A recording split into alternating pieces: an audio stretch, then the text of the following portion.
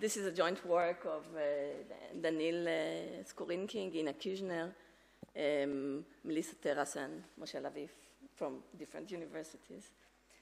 Um, okay. So, what can we learn about minorities' representation by inspecting uh, museal catalogs?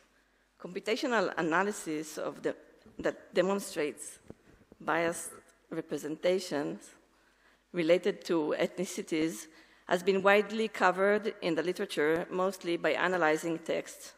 But anal anal analysis of museum catalogs and online museum uh, collections provide additional insights of the perception of minority cultures. Machine actionable catalogs of museums are still rare and in most cases not available for the public. Using, using catalogs as data of inquiry is a leading concept of collections as data.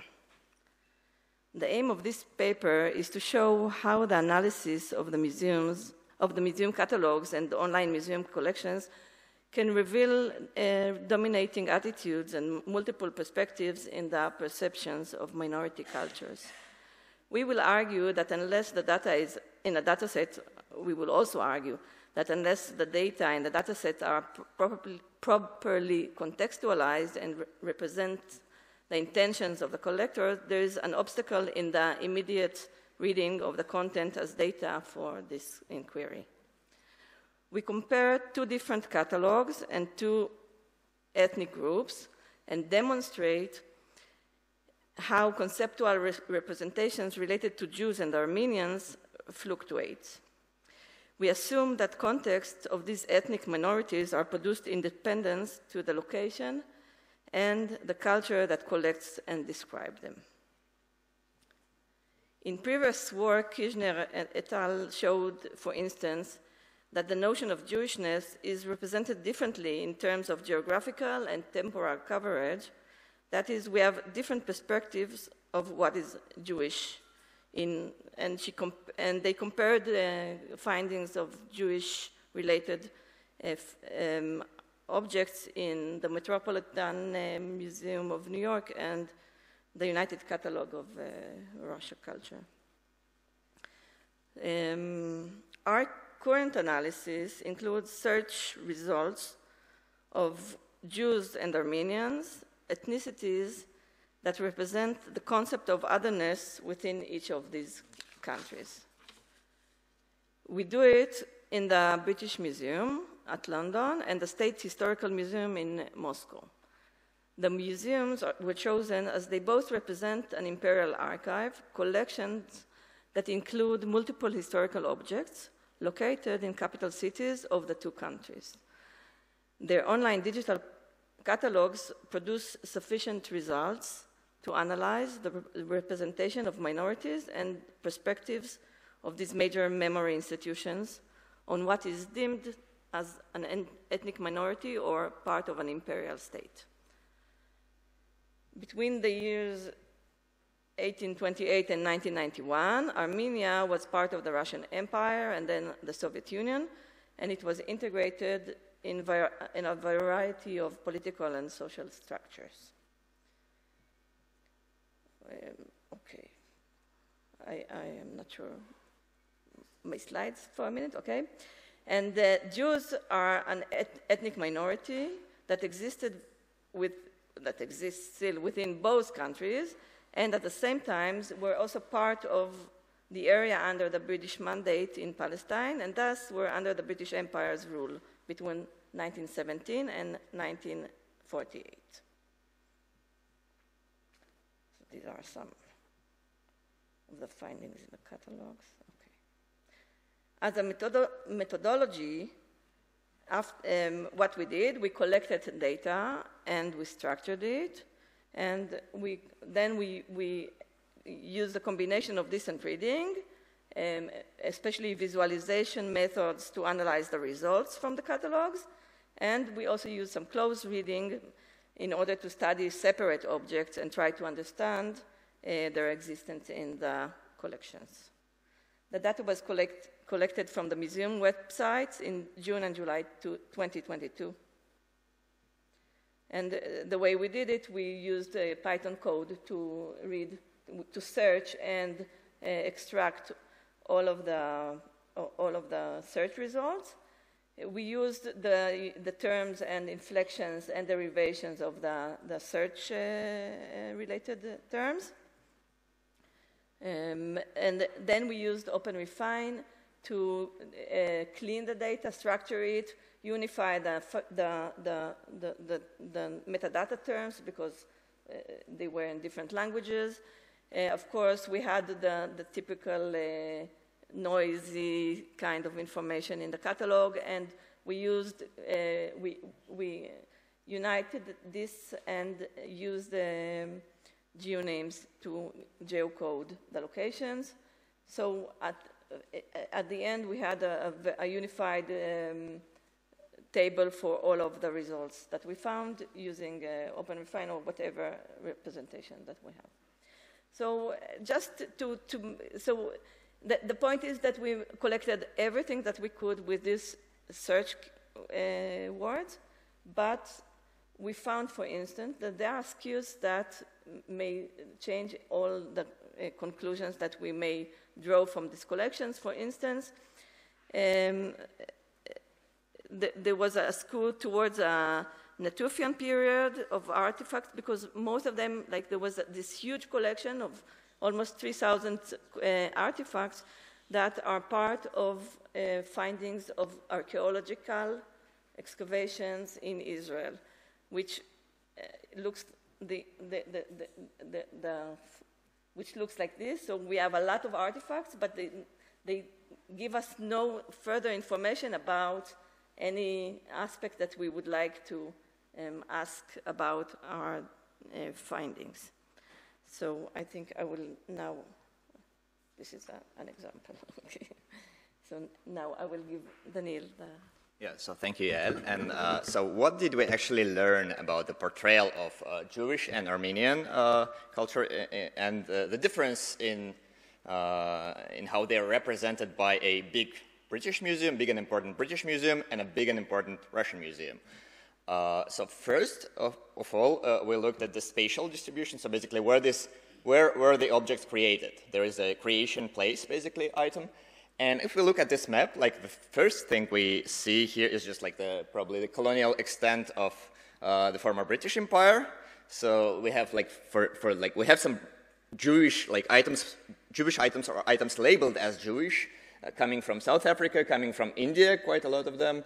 Uh, a lot of them are com- oh, sorry, a lot of them are coming from Egypt. Now, this can be ambiguous, of course, because Egypt is also kind of geographically close to uh, Israel, but also it's been long in the British sphere of dominion, of course, and we know that many cultural heritage objects from Egypt ended up in British museums. So some of them were apparently Jewish, and we can actually compare it to the to the map from the Russian Russian Historical Museum, where we can actually see that it's much less kind of globalized and it has less coverage and it's mostly focused on basically the um, Jews of like Eastern Europe and Russia. And like there is for instance some post-Soviet countries uh, like Kazakhstan which are totally absent in the uh, in the British Museum. So we can see that this, uh, these are mostly Jewish items related to Russian Jewry or the, the Jewry of like Eastern Europe. So probably this is mostly like uh, limited to Ashkenazi Jews and uh, on the other hand, in the British Museum, you can see that it's more kind of evenly distributed, and you, you, can, you have some items actually from uh, Spain and Morocco, so there is probably some Sephardic element to it. Uh, yeah, and uh, if we look further into the Armenian items, again, we can see that uh, the British Museum has a much larger extent to, uh, like much larger geographical coverage of where the items labeled as Armenian come from. And if you look at the top five countries, you might actually wonder, like, why Armenia isn't, in, isn't even the in the first place. Like, why are the most items labeled as Armenian in the British? Like, if you look for Armenian stuff, the most items you get are actually coming from Italy or Israel. And you might think, isn't there a mistake in your data? Didn't you mix up like Israeli and Armenian data? And that's what I thought when I was processing the data. And I checked, and no, actually. Uh, so why so much Italy for the Armenian items? Actually, because Armenia was already part of the realm for the Roman Empire, and so you get a lot of these items, which are actually Roman coins minted by the Roman emperors, but they actually do mention Armenia. You can see there uh, Armeniacus. Uh, so it's like named in, in, in, inscription, but it's more like a reference to land. I mean, can we actually claim this is, this is a representation of Armenian culture? Probably not. I mean, it's more like Roman culture, but it still has a reference to Armenia as a land of origin.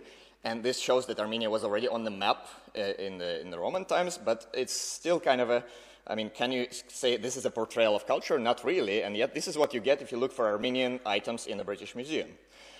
Uh, and why so much Israel? Uh, well, partly because of the presence of the, of the usual traditional presence of Armenians uh, on the what is called the Holy Land for, for most religions. Uh, so there are many, as you know, there is still Armenian church in the, in the center of Jerusalem. So uh, and there are many, they, at least there were many Armenian-run shops. And if the, it's mentioned in the acquisition notes, then it gets retrieved if you look for Armenian stuff. But again, this doesn't look to me like a representation of Armenian culture. It's just a souvenir from Jerusalem.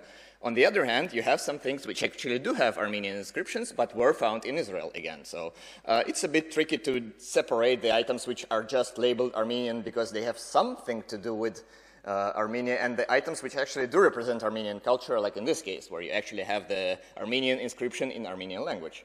Uh, yeah, and of course, after looking at the um, geographical distribution, we also looked at, looked at, the temporal distribution because that's ne the next logical thing to do. Uh, yeah, and sorry, there is um, something messed up with the slide, so should, the line should go up, and it should say uh, like CE and CE here and BCE here. So the line is actually the, the, the beginning of the of the common era. Uh, and you can see that uh, the temporal kind of distribution is very different. So uh, in the British Museum on top, uh, the, um, the time span is basically goes all the way to almost prehistoric times. And obviously these are archaeological excavated items, just like Yael showed, uh, which are just found in the area which is now, uh, which is uh, now um, Armenia, or which is now uh, Israel. Uh, and um, and um, on the other hand, if you yeah, this is this is Jewish data, so you can see that uh, in the Russian uh, museum, like uh, the the Jewish heritage basically starts with the 17th century, which makes total sense because only in the end of the 18th century, uh, they, they, the, Russia basically acquired the sizable Jewish population after the partition of Poland, uh, of course. So, so uh, you can see that uh, in, the, in the British Museum on top, uh, like Jew, Jewish culture is represented uh, in, in different time spans, including the more like biblical times. And as I will show later, it's actually very often mentioned in the Christian context, not in the Jewish context, but in the Christian biblical context, as you know, like basically actors in the Bible. Um, yeah, and this is the uh, this is the same graph for Armenian items. And again, you, you can see items which are labeled as Armenian in the British museums, which go all the way back to uh, basically 12th century BCE. And uh, obviously, these are again, uh, these are mostly uh, archaeological findings and coins and stuff like that. So things which are uh, mentioned as uh, found somewhere near Armenia by archaeologists, and they are retrieved to you if you look for Armenian. Uh, and on the other hand, in the Russian collection, like the Armenian things which are labeled as Armenian start only in the 12th century, roughly, and then there are some archaeological items from 12th and 13th century. But then again, uh, it kind of goes down, and uh, the real representation of Armenian culture begins more or less in 18th and 19th century, which again makes sense because that's when Armenia kind of gradually becomes uh, goes into the Russian sphere of influence, let's say. And of course, most of it is Soviet Armenia in the 20th century. So it's really different, like really different uh, time spans for, for the same culture represented in different museums, depending on the museums. And one uh, other thing that we did, and this, this thing we actually only did for the Russian part of the data, uh, so we actually manually classified like 20% of the data uh, with uh, our own uh, classification, which basically splits the item into items into whether they are personal things like personal letters or you know souvenirs or postcards, or they are artistic items like basically works of art or books, uh, or they are um, governmental things like official, uh, officially issued documents uh, or uh, yeah, I mean proceedings of some party conferences for that matter, or uh, I think we also yeah the money also went into this because they're kind of issued by the state, uh, and you can see again here um, if we compare the. Uh, here we already compare not the, not the representation to museums, but actually the representation of two cultures in one museums. And here you can see that uh, it really is driven by the political situation, by the um, by the ideological concept, by, by, the, by, the, basically by the role that uh, two different minorities play in the in the society. Like for uh, for the um, in, in, this case, we, we, we know that Armenia was basically a political entity within the Soviet Union. I mean, it has its own republic, it has its own uh, party, its own party membership. I mean, especially if we speak about the Soviet times, which again is the mostly represent, most represented time. Uh, and you can tell that, uh, you can actually see that in the composition of the collection by the uh, big prevalence of governmental items, uh, which, uh, of, which are the, the most dominant ones and uh, by the very like little share of personal items. And you have also items which we classified as documentary and research, and these are mostly also official stuff, like you know research delegation of scientists from Moscow coming to Armenia and is being photographed, this kind of stuff, or again like some documentary photography of Armenian uh, hydroelectric sta uh, power stations being built, and this is again part of like uh, part of official policy, part of propaganda in some sense also, because it's been uh, it's, it's, it's being photographed for the news, for the Soviet news. Uh, so uh, yeah, obviously you can you can tell that Jews are mostly represented on like more personal level and uh, also on religious level, like as a culture, as a religion, but not as a uh, not as a, some sort of a political entity or an official kind of agent with whom you need to uh, communicate from Moscow, let's say. But Armenia is represented differently, and this this shows how how basically how policies affect the composition of museum collections. And again, uh, this is one last thing I'm going to talk about briefly. This is not the most successful part of the research, to be honest. Like the previous ones were much more telling. But uh, me being a computational linguist by training, uh, I was kind of forced to do something with uh, words and with descriptions because, uh, I mean, we had the word semantic in the title, and I was kind of, I felt obliged that, yeah, we should look into descriptions of the objects. But this is, this is really problematic because if you, even if you look for, like for the most common words, you already see a lot of uh, noise. And for instance, on the right side, uh, I will translate it for you. Basically, uh, the, one of the biggest, one of the most frequent words in the descriptions of the Jewish items uh, in the Russian museums are actually just surnames of two random Jewish ladies who were exchanging mail like in the late 1980s. And for some reason, somebody decided to put the whole mail collection in the Russian Historical Museum.